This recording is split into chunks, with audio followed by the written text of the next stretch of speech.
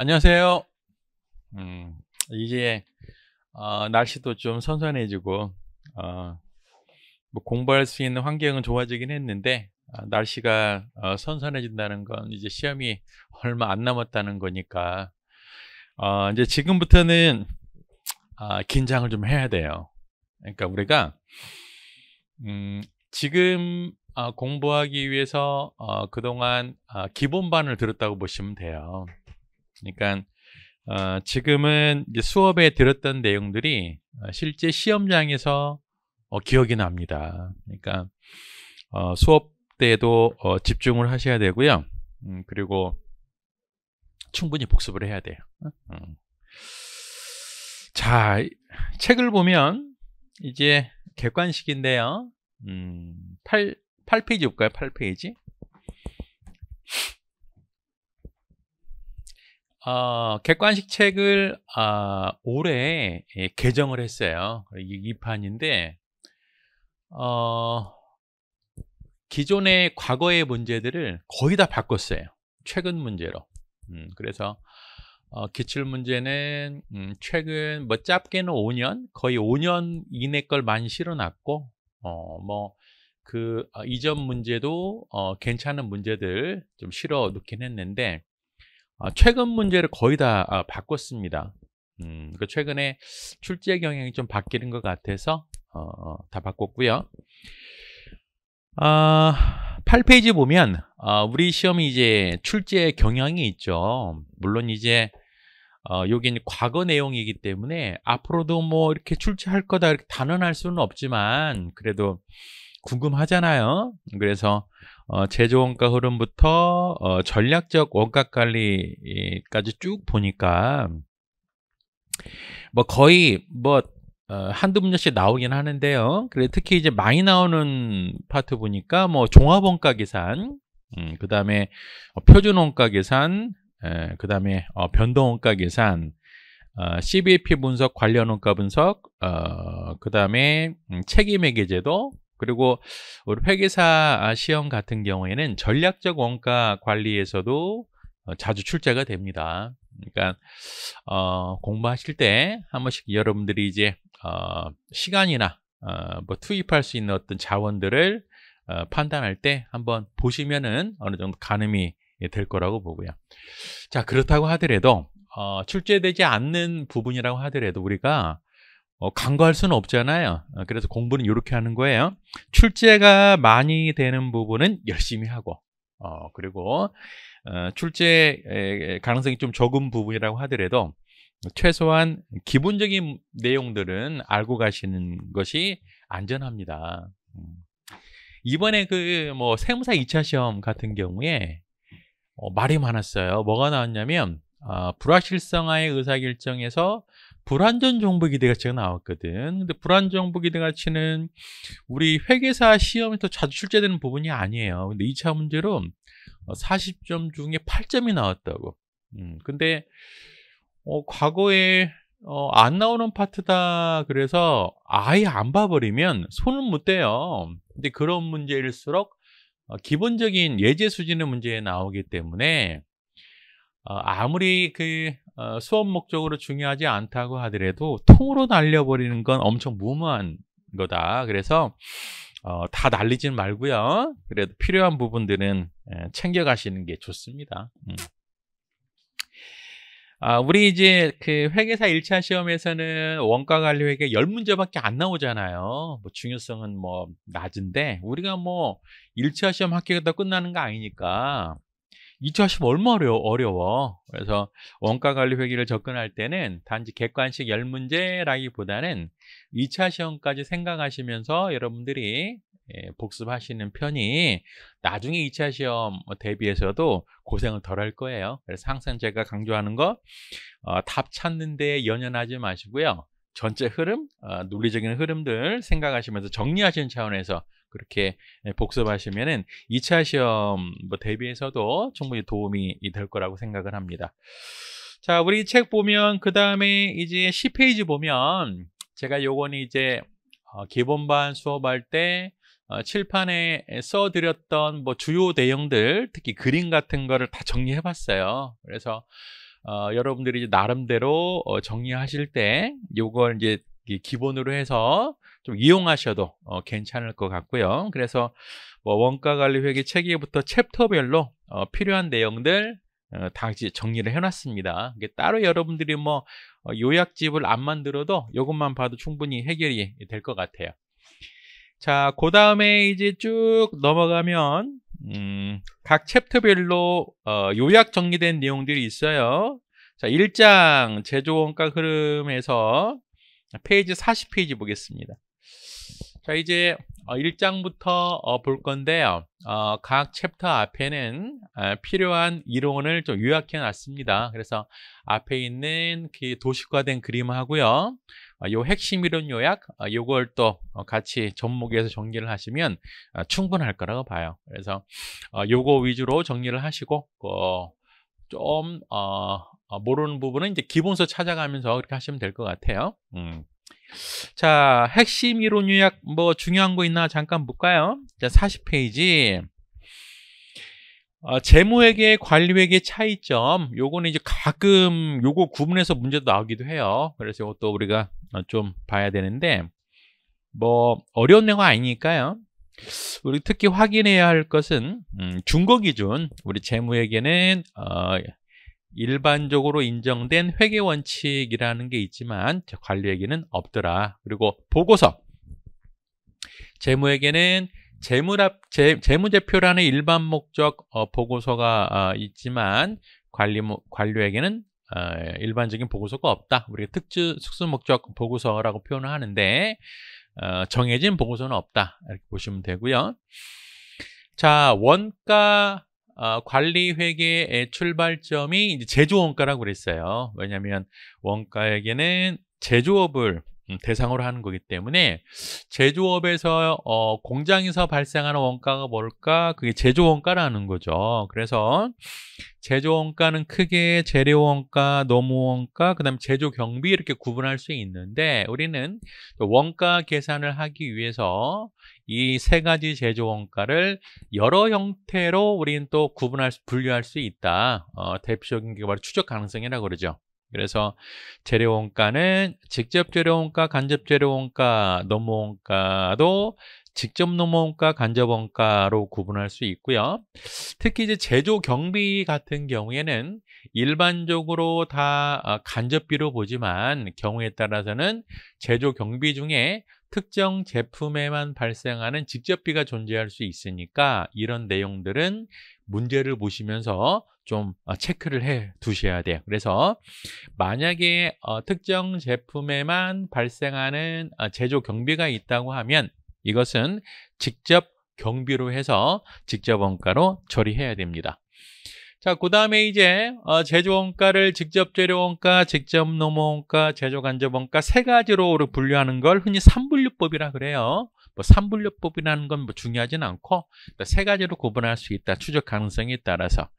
자, 근데 어, 직접 재료원가, 직접 노무원가를 묶어서 기초 어, 기본 원가라고 하고요. 다시 직접 노무원가, 어, 제조 간접 원가 묶어서 가공 전환 원가라고 그러죠. 그러면 삼분류법은 주로 어떤 원가 계산 방식에서 많이 사용을 해요? 개별 원가 계산에서 사용을 하죠. 하지만 이분류법은 종합원가 계산에서 많이 사용합니다. 그래서 직접 노무원가, 제조간접원가를 가공원가, 전환원가라고 하는데 옛날에는 가공원가라는 말을 많이 썼어요. 최근 한 5개년도 기출은 거의 다 전환원가라고 해. 특별한 의미는 없어요. 가공원가나 전환원가는 같은 말이니까. 자, 이제 41페이지에 제조원가 흐름. 제조원가 흐름도 매년 시험에 나온다고 보면 돼요. 매년. 음, 제조원가 흐름은 뭐냐면 주로 제공품 계정을 살펴보는 게 제조원가 흐름이죠. 어, 그러면 중요한 개념이 단기총 제조원가, 단기제품 제조원가예요.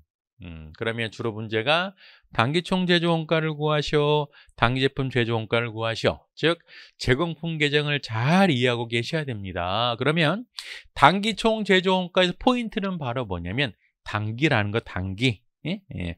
그래서 예를 풀어보면 단기에 총 투입된 제조원가로 이해하시면 돼요.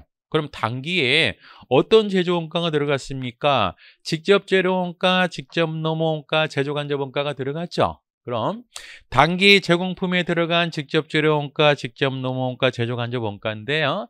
각각의 제조 원가 항목을 보자 그런 얘기죠. 자, 먼저 1번. 재료원가 사용분. 자, 재료원가 사용분 그냥 지나칠 수도 있는데 이 재료원가도 굉장히 중요합니다. 자, 재료원가만 가지고 있는 특징 뭐가 있어요? 얘만이 재고 자산이 있어. 재고 자산. 노무원가나 제조간접원가는 재고 자산이 존재할 수가 없어요. 재료원가만 재고 자산을 가지고 있더라. 그러다 보니까 여러분들이 문제 풀면서 실수할 수 있는 포인트가 하나가 있어요. 뭐냐면 직접 재료 구입 금액을 재료 원가로 이렇게 실수하는 분들이 많습니다. 즉 재료 원가는 구입액과 사용액이 달라요. 그러면 자료에서 구입액이 주어진다면 기초 원재료, 기말 원재료를 고려해서 사용분을 뽑아내야 돼요. 여기서 말하는 재료 원가는 사용분을 의미하는 거다. 그래서 1번은 뭐라고 돼 있어요? 재료 원가 사용분 구입분 아니에요. 주의하셔야 돼요.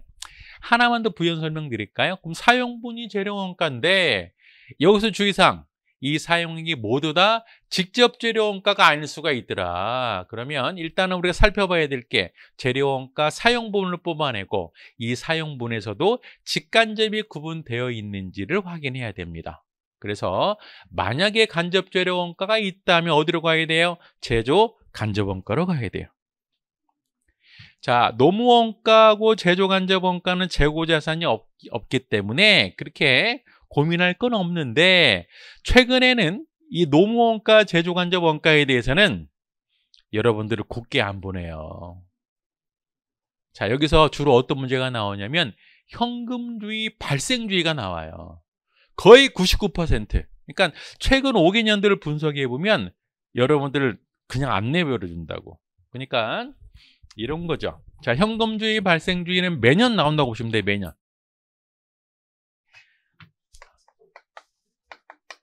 자, 발생주의하고요. 현금주의는 달라요. 우리 회계는 발생주의를 어, 채택을 한다. 근데 문제에서 뭐가 나오냐면 지급액이 얼마다라고 나와요. 지급액이. 그러니까 이 지급액은 얘를 말하는 게 아니고요. 얘를 말하는 거잖아요. 그럼 우리는 이 지급액을 기준으로 해서 발생 금액을 찾아내야 돼요. 찾아낼 때 아마 여러 가지 방법이 있어요. 뭐 어떤 분들은 등식을 만들어서 우리 책처럼 공식화 이렇게 한 것도 있고요. 분계를 해서 해결하는 방법도 있는데 이 자리에서 제가 한 줄로만 어, 설명해 드릴 테니까 그것만 딱 이해하시면 될 것 같아. 어, 제가 말씀드렸잖아요. 이제 가을이기 때문에 지금 수업 중에 잘 들었던 내용들이 시험장 가서 생각이 나. 나요. 음. 자 그러면 우리는 지급액을 일단은 어, 비용으로 본다 그래요 비용으로 무슨 얘기예요? 현금 지급했다 오케이 그걸 비용으로 보겠다 자 근데 혹시 혹시 미지급이 있다면 어, 미지급 증가분은 가산을 하자 비용에 자 그럼 왜 얘를 가산을 할까 한번 생각해 볼게요 우리는 지금 현금 지급한 걸 비용으로 본 거잖아요 얘를 비용으로 봤는데 얘는 바로 뭐냐면 현금 지급 없이 발생한 비용이에요. 당연히 비용이 가산해야지. 이해되세요? 그렇게 이해해야 되는 거예요. 우리는 얘를 비용으로 봤어. 비용으로 봤는데 얘 경우에는 어 현금도 안 나갔는데 비용이네? 당연히 가산해야지. 그러면 한번 검증할까 검증? 왜 미지급 증가분이 비용이 가산해야 되는 건지 미지급이 증가했다는 건 회계 처리 어떻게 하면 돼요? 미지급이라는 게 뭐예요? 내가 너에 대해 너한테 줘야 될 의무가 있는데 돈이 없어서 다음 기회에 줄게 그 얘기잖아요. 그러면 뭐가 발생이 되는 거예요? 미지급이라는 부채가 발생이 되는 거라고. 왜? 줘야 될 비용이 발생이 됐거든. 이 분기를 딱 보니까요. 현금이 안 나간 상태에서 비용이 있었네. 즉 비현금 유출 비용이 생긴 거죠. 그럼 단기 비용은 어때요? 현금 지급한 거에 대해서 얘 가산해야지. 결국 얘가 뭐예요? 아, 우리는 현금 나간 걸 비용으로 봤는데 보니까 현금도 안 나가고 발생한 비용이 있네? 가산해야 된다고. 됐어요? 어. 그 다음에 이제 마이너스 성급 증가분은 이제 빼주면 돼. 그러면 이 성급 증가는 왜 빼줍니까? 또 이해를 한번 해보자고.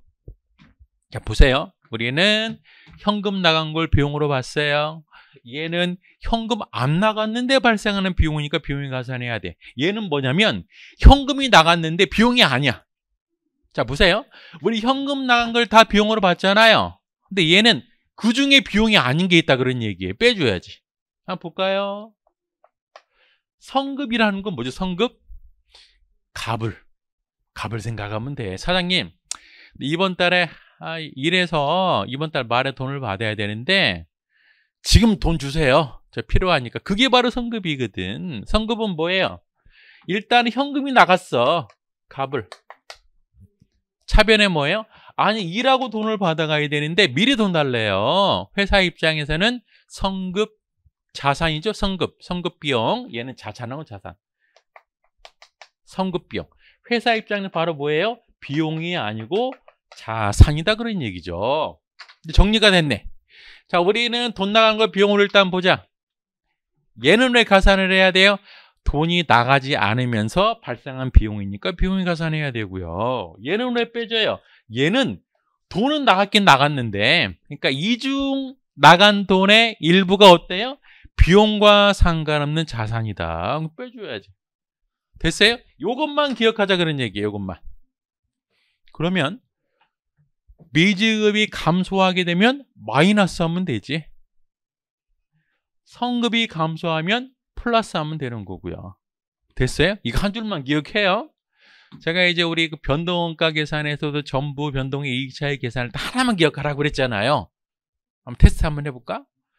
자, 전부 원가는 변동 원가 더하기 기말 재고 플러스 플러스 재고가 늘어나면 어디가 이익이 커요? 전부 원가 계산 이익이 커요. 그거 하나만 기억하면 돼. 기초는 마이너스 처리하면 되니까요. 얘도 마찬가지 얘도. 어. 요거 하나만 사실 기억하면 될 것 같아. 어? 그러니까 돈 나간 걸 비용으로 봤는데 돈이 나가지 않으면서 발생한 비용이니까 가산해야 돼. 이거 하나만 기억하면 되지 뭐. 얘네 부채 자산이니까 반대로 해석하면 되고. 됐어요? 요거에 대한 식이 바로 이번에 있는 식이에요. 어. 좀 풀어보면. 예. 근데 여러분들은 이렇게 보면 되죠. 현금 지급액 더하기 미지급액 증가분 마이너스 성급액 증가분만 이해하면 되죠. 뭐 소득세 공제는 당연한 거니까. 그쵸? 음. 이렇게 해서 정리하시면 될 것 같고. 자, 그러면 다시 한번 정리를 해볼게요. 재료 원가 중에 여러분들이 주의할 사항이 뭐라고 그랬어요? 아, 사용분. 또 하나는 이 재료 원가 안에는 직접 간접이 있더라. 그거 구분해야 되고. 노무 원가에서 주의할 사항은 요거에다가 하나가 더 있는데 뭐가 있을까요? 농업비도 직접 노무 원가, 간접 노무 원가 있다는 거. 제조 간접 원가에서 주의할 사항 요거. 어, 요거에다가 추가적으로 보면 뭐가 있어요? 변동비, 고정비가 있는 거예요. 변동비, 고정비. 우리는 암묵적으로 직접 재료원가, 직접 노무원가는 변동비로 봐요. 하지만 제조간접원가는 변동비, 고정비 있습니다. 자, 이게 별거 아닌 것 같아도 공부하다 보면 모든 여러분들이 헷갈리게 만든 건 다 제조간접원가야. 모든 게 다 보다 보면. 음, 그래서 제조간접원가는 좀 자세히 봐야 됩니다. 어찌됐든 요세 가지 단기 발생한 걸 묶어서 뭐라고 그래요? 단기총 제조원가인데요. 단기총 제조원가를 찾을 때는 어떻게 반드시 제공품의 T 계정을 그리셔라 그런 얘기예요. 아니면 헷갈려요. 가끔 여러분 공부할 때 조금 이제 머리 이제 회전 회전 속도가 빠르신 분들은 머리로 막 암산하거든. 절대 그러지 마세요. 절대. 절대. 그거 믿으면 안 돼. 예? 우리는 어, 빨리 푸는 테스트 하는 게 아니고요. 합격하는 게 중요한 거기 때문에 반드시 특계정 그리고 항상 계산기를 사용하시고 자, 단기 제품 제조 원가는 뭐예요? 얘를 풀어보면 단기에 완성된 제품의 제조 원가다. 어디에서 확인할 수 있어요? 제공품의 오른쪽을 확인할 수, 확인 되겠죠. 그럼 단기 제품 최저원가는 어디로 들어가요? 제품 창고로 들어갑니다. 그러다 보니까 단기 총 제조원가는 어떤 T 계정에서 찾을 수 있어요? 제공품. 단기 제품 제조원가는 두 군데에서 찾을 수가 있어. 제공품에서도 찾을 수 있고 또 어디에서? 제품에서도 찾을 수 있습니다. 어, 그래서 단기 제품 제조원가도 반드시 제공품이나 제품의 T 계정을 통해서 확인하셔라. 그러고요.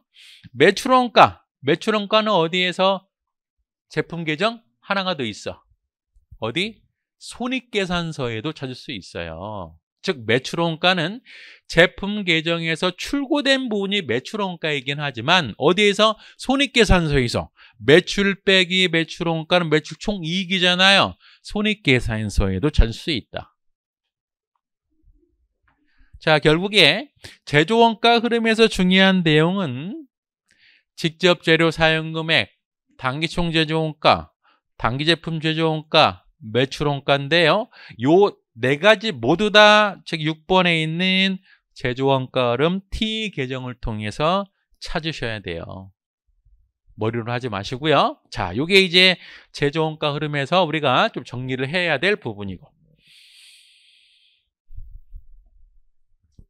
제가 이제 그 이제 기본반 또 시작하거든요. 어, 기본반 시작하는데 여러분들한테 말씀드린 것 같은데 기본반의 목적은 어, 객관식 문제를 풀기 위해서 어, 배경 이론을 이해하는 게 기본반이에요. 객관식은 순수하게 1차 시험 목적으로 하는 거고요.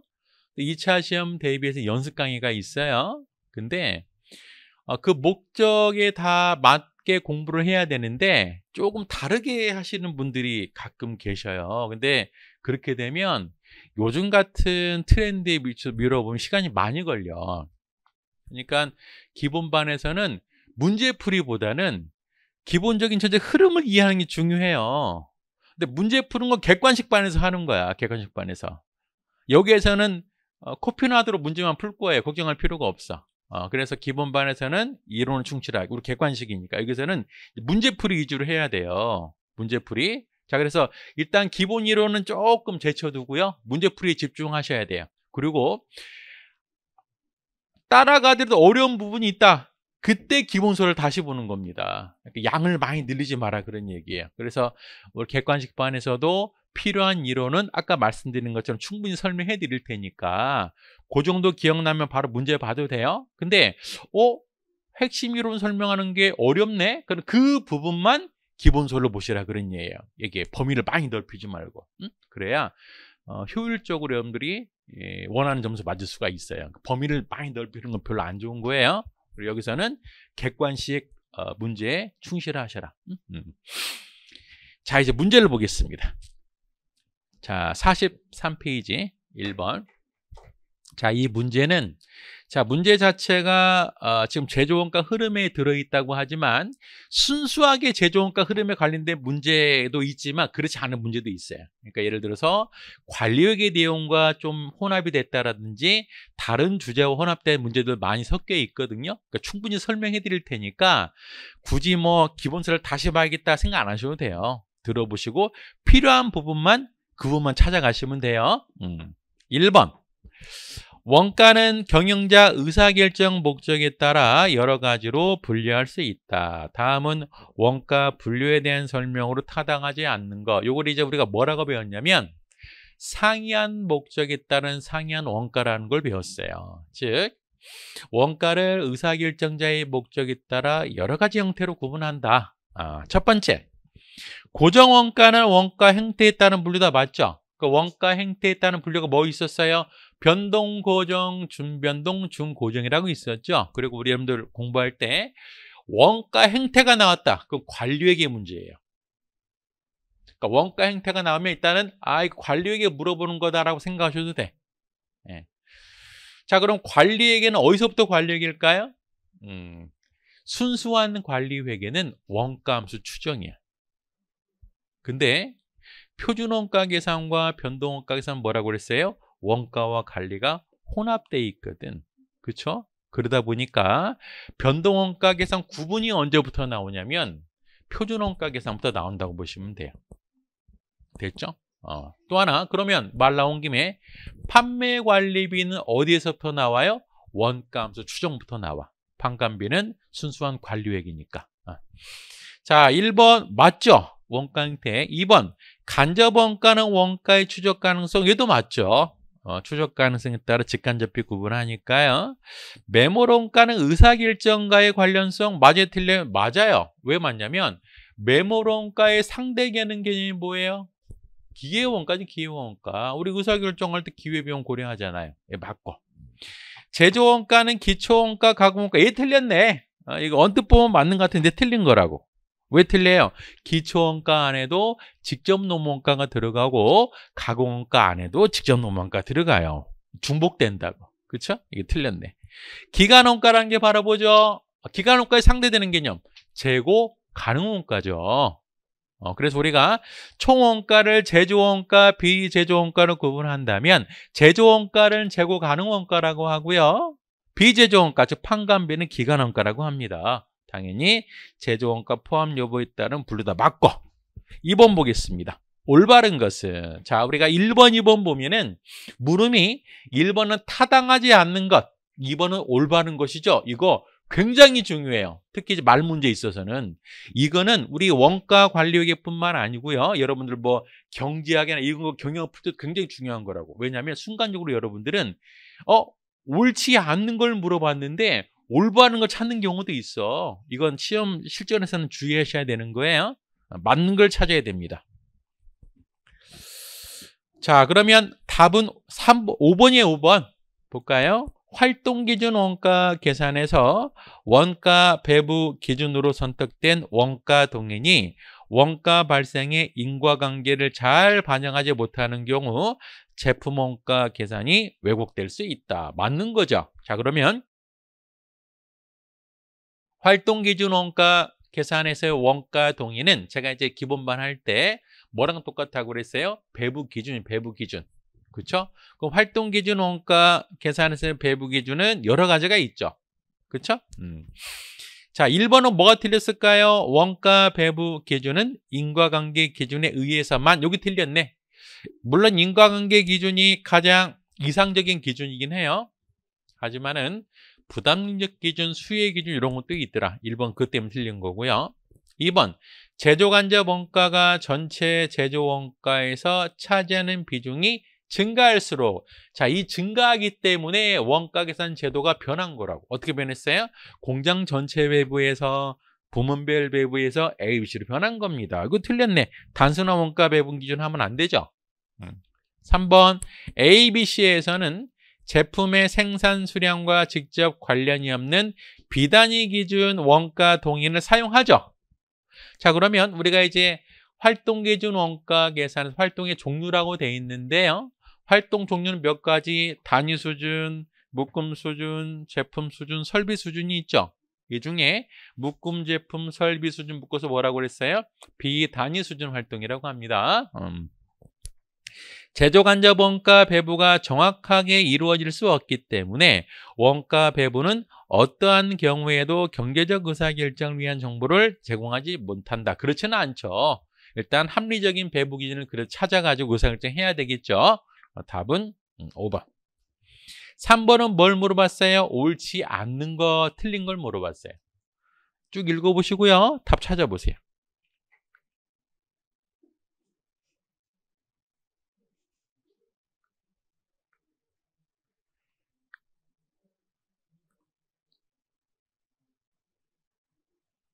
딱 봐도 눈에 띄게 있어요. 5번 틀렸죠, 5번. 제품이 다양할수록 더욱더 단순화된 배부 기준을 요구하겠다. 우리 하나만 부연 설명드리면 활동 기준 원가 계산의 어, 대두 배경 A, B, C가 왜 나왔냐? 그 중에 하나가 소품종 대량에서 다품종 수량으로 갔기 때문에 즉 종류가 작은 거에서 종류가 많아지기 때문에 어때? 원가 계산을 정확히 해야 되겠죠.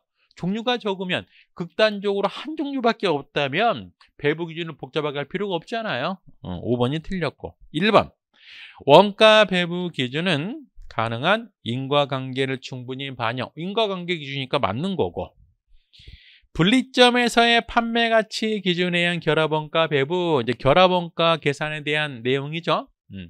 자, 그러면 우리 이제 어, 결합원가 한번 내용 쭉 한번 리뷰해 보면 자, 결합원가 배부 방법이 뭐가 있었어요? 분리점 판매 가치법, 순실현 가치법, 균등인율법 이런 것들이 있었잖아요. 이 중에 분리점 판매 가치는 바로 뭐예요?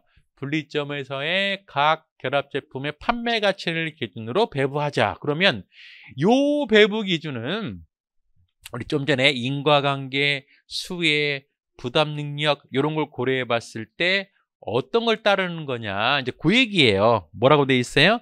부담 능력 기준과 어, 관련이 있더라. 자, 이렇게 보기도 해.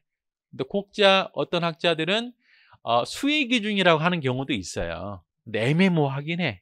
왜냐면은 어, 분리점 판매 가치라는 건 그 결합 제품의 매출액 비중으로 나눠주는 거잖아요. 그러면 수혜 기준으로 보면 어, 내 매출을 올리는 혜택을 많이 받잖아 라고 볼 수도 있잖아요.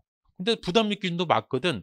많이 팔리는 매출이 큰 제품에 더 많은 원가를 배부하니까. 그래서 일반적으로는 부담력 기준이라고 합니다. 근데 소수설로 수혜 기준이라고 파, 어, 해석하시는 분도 계세요. 일반적으로는 부담 능력 기준이라고 그래요. 음.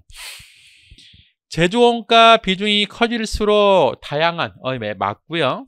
어, 보조 부문의 배부에 있어서 단계 배부법이 직접 배부법보다 항상 더 합리적인 배부 결과를 가져오는 것은 아니다. 자, 우리가 이제 원가 관리 회계 내용 통틀어서 상호 용역 수수라는 것도 많이 접해요. 상호 용역 수수. 상호 용역 수수는 한 군데밖에 안 나와. 어디서 나와요? 보조 부문에 대해서만 나오는 용어예요. 상호 용역 수수는. 근데 실제 보조 부문은 우리 개별 원가 계산에서 본다고 하지만 사실 하나가 더 있어. 어디에 있냐면 관련 원가 분석에 보조 부문 폐지 의사 결정도 있습니다. 그러다 보니까 상호 용역 수수는 두 군데 나와요. 개별 원가 계산 보조 부문에서도 나오고요. 관료의 개편 관련 원가 분석에서 나옵니다. 자, 두 개 다 나오기 때문에 시험에서 자주 나온다고 보시면 돼요. 응? 그럼 상호용 수수는 어찌됐든 보조 부문 관련된 내용인데 보조 부문 하면 떠올라야 되는 게 바로 뭐에 반드시 직접 단계 상호 배부거든. 그러니까 상호 용역 수수 관계에서 서로 주고받는 관계를 얼마나 우리가 고려할 거냐 하나도 하지 말자 직접 배부법 일부 인정하자 단계 배부법 다 고려하자 상호 배부법이에요 자 그러면 직접 배부법 단계 상호 갈수록 정확도는 높아진다 맞아요 틀려요 애매모호해 자 직접 배부법보다 상호 배부법이 무조건 정확도 높다 오케이 맞아요 단계보다 상호가 정확도 높다. 맞아 얘는. 문제는 단계가 직접보다 항상 정확도가 높을까? 얘는 물음표야. 즉 직접 배부법하고요. 단계 배부법은 단계가 우월하다고 말하기 힘들어. 정확도 측면에서. 왜 그럴까요? 단계 배부법은 우선순위에 따라 원가가 달라져. 우선순위를 잘못 선택하게 되면 오히려 직접 배부법보다 정확도가 떨어질 수도 있습니다. 그 얘기 쓴 거예요, 지금. 보조 배, 부문의 배부에 있어서 단계 배부법이 직접 배부법보다 항상 합리적인 배부 결과를 가져오는 건 아니다. 다른 말 표현하면 항상 정확한 건 아니다. 됐죠? 어. 뭐 4번 얘는 별거 아니네. 어, 관리획에 관한 설명 중 틀린 거. 5번 틀렸어요, 5번. 왜 틀렸어요? 일반 이외의 관계자를 위한 회계는 바로 뭐예요? 재무회계지. 일반 목적의 회계. 얘는 재무회계 내용이고요. 자, 1번 내부정보 용자 맞고 2번 계획 3번 의사결정 4번 성과평가 맞고 음. 자, 우리 그러면 그 어, 원가 관리 전체 내용 중에 경영 계획에 관련된 파트가 어떤 파트 있을까? 종합예산, 자본예산이라고 보시면 돼요. 계획. 의사결정은 단기 장기 의사결정이 있었잖아요. 그렇죠? 뭐 CBP 분석, 관련 원가 분석 이런 것들. 물론 이제 자본 예산도 어, 의사 결정에 어떤 들어갈 수 있고 물론 경영 계획도 들어갈 수 있고 대표적인 경영 계획은 종합 예산이 되고요. 성과 평가는 어디 있어요? 책임 회계 제도. 어, 그 정도 보시면 될 것 같고. 5번 관리 회계 내용 중 틀린 거. 똑같은 내용이네. 3번 틀렸죠. 어, 재무제표는 재무 회계에 대한 내용이죠. 예, 틀렸고. 1번 내부 이해 관계자. 그 다음에 2번 회계 원칙을 영향받지 않는다. 아, 맞고요. 정보의 시간적인 관점으로는 주로 미래지향적이다. 아, 반대로 재무회계는 과거지향적이다. 그러니까 정보의 범위가 좁고 어, 특수하더라. 반대로 재무회계는 정보의 범위가 넓고 광범위하죠. 일반 목적이라 그랬으니까요. 어, 답은 3번. 6번. 6번 읽어보세요.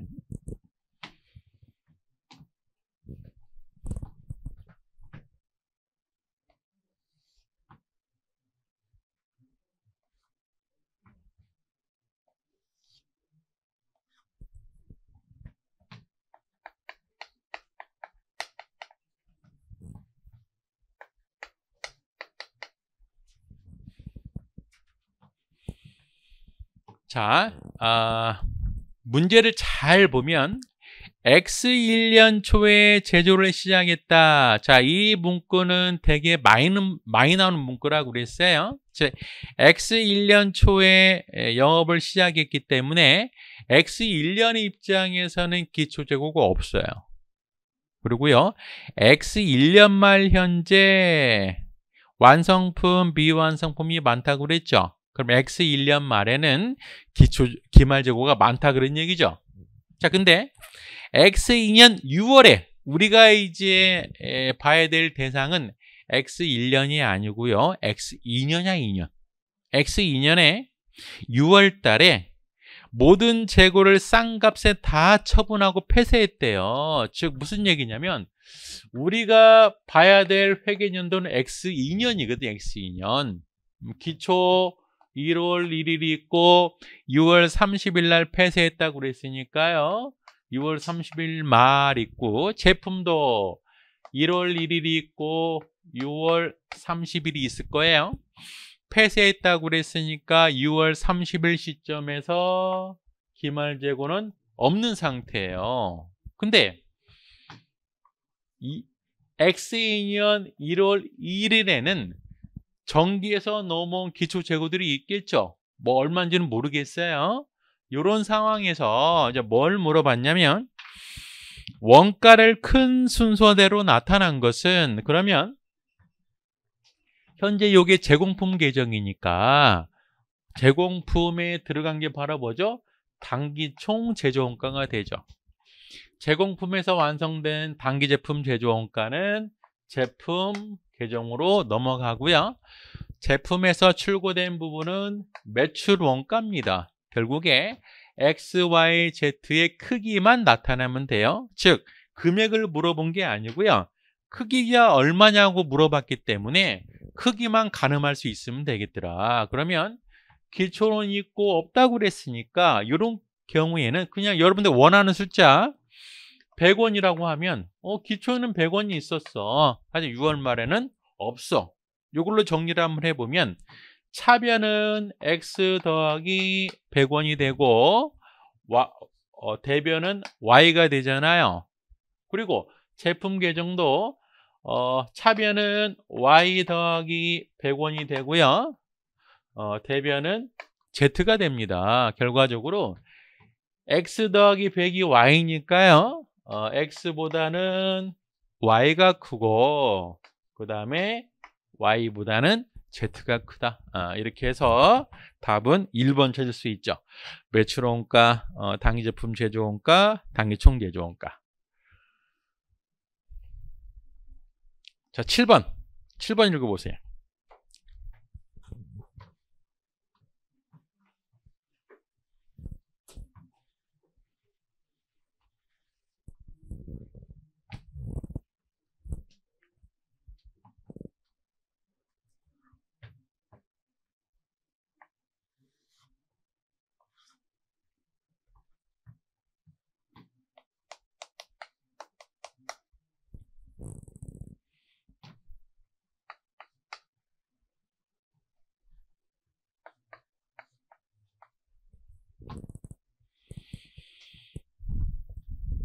자, 볼게요.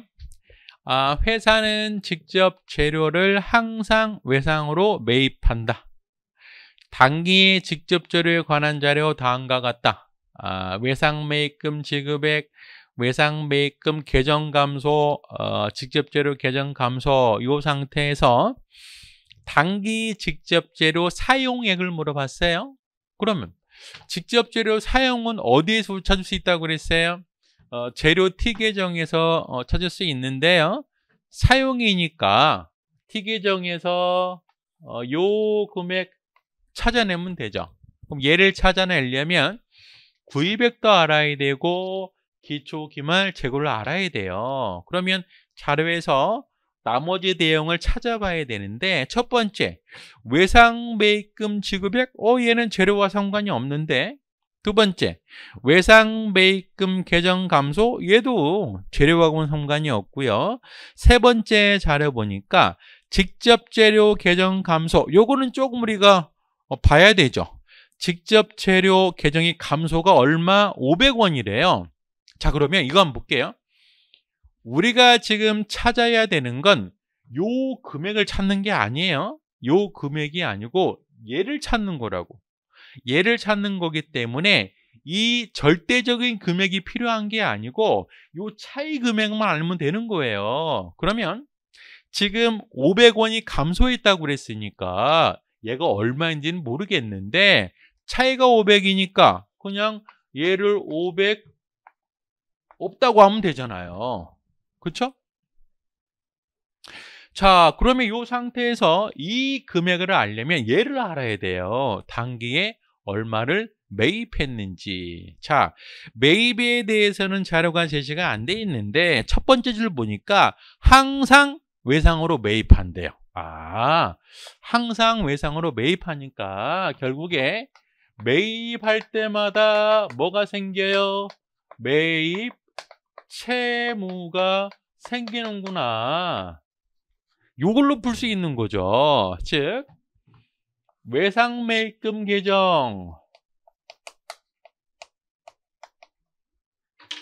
얘는 바로 뭐가 되냐면 외상매입금은 부채 계정이니까요. 어, 1월 1일, 12월 31일이 되고 매입액은 얘가 되는 거다 그런 얘기예요. 결국에 요 금액과 요 금액이 일치하니까 외상매입금 계정을 통해서 얘를 찾으면 돼요. 그러니까 이 문제는 요것 때문에 외상 매입금 계정을 이용하는 거예요. 항상 외상으로 매입하니까. 자, 외상 매입금 계정을 보니까요. 지급액이 2,000원이래요. 어, 지급액이면 이 부분이 2,000원이 되는 거죠. 정기월 발생 지급. 자, 그 다음에 외상 매입금 계정 감소가 300원이니까 이도 마찬가지예요. 정기 2월이 얼마 있는지 모르겠는데 300원 감소했다 그랬으니까 얘를 300원하고 제로하면 되잖아요. 얼마 매입한 거예요? 1700. 어, 단기 매입액이 1700이니까요. 어, 얘가 2200. 그래서 답은 2200이 되는 거죠. 자, 8번.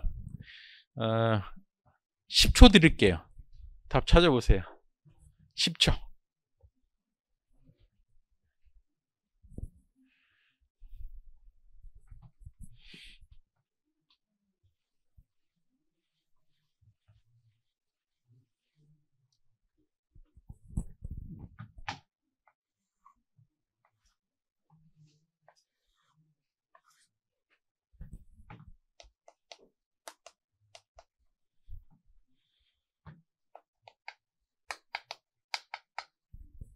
자, 볼게요.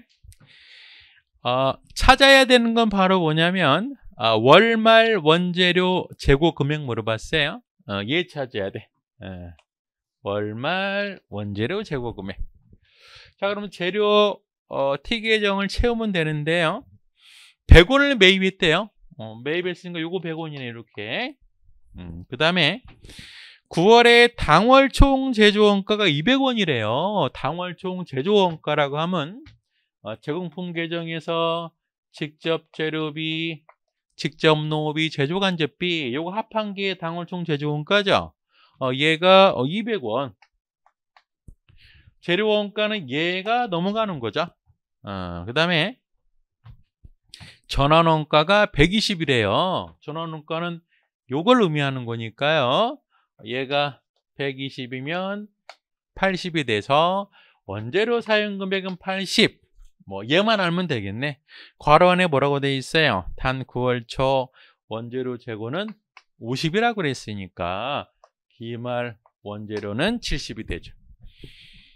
9번. 아, 이거 별거 아닌 것 같죠? 근데 이 상태로 문제는 안 나오겠지. 하지만은, 우리가 문제 보면은, 제조 간접 원가를 판관비랑 고려해야 풀 수 있는 문제들이 많이 나와요. 연습하는 거니까. 제조 간접 원가는 우리가 어, 공장이라고 보시면 돼요. 어, 간접 재료 원가, 제조 간접 원가고, 어, 기계 감가상각비 당연히 제조 간접 원가고요. 판매원 퇴직금, 얘는 판매 부서잖아요. 판관비. 본사 전기료도 판관비. 기계장치 제조간접원가 어, 답은 그래서 에, 5번. 자, 10번. 요거 한번 연습 한번 해봐야 되겠네, 요거. 아까 제가, 쳐, 어, 이거, 이거, 이거, 이거. 요걸로 한번 연습 한번 합시다. 어? 어, 그럼 문제 보시고요. 이 시계 넣어가지고 답을 빨리 한번 찾아보세요. 이 시계 넣어서.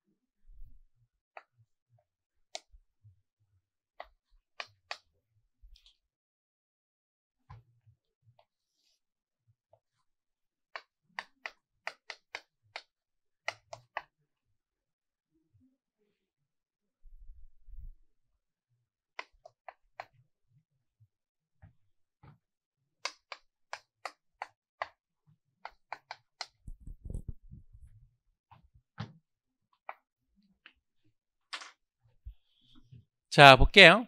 어, 단기 지급액 3,000원이죠? 지급했대? 어, 그럼 우린 지급한 금액을 다 비용으로 보고요. 어, 성급 볼게 성급. 정기에 1,500원이었는데 단기에 700원 됐잖아요. 성급이 800만큼 줄었죠. 어, 성급이 증가하면은 마이너스라고 그랬는데 줄었으니까요. 어, 더하기 800 하면 되죠. 줄었으니까 음. 단기 미지급 미지급이 늘었죠. 500원 늘었죠. 어, 미지급 늘었으면 더하기 500. 이게 답이죠. 뭐 이거 답. 됐어요? 어. 답은 그럼 얼마가 돼요? 4,300원인가? 어. 자, 요게 답인데 한번 검증 한번 해보자 그러는데 검증. 성금은 어떤 상태냐면 정기에 1500 자산이 있었는데 단기 700이래요. 800이 자산이 줄어들었잖아요. 그러면 자 요거 회계처럼 한번 해볼까? 자산 줄어든 거? 어, 그러면 성급이라는 자산이 줄어들었잖아요. 그러면 대변에 성급 800원이고요. 차변도 800인데 성급이 줄었다는 건 뭐죠? 이런 거예요.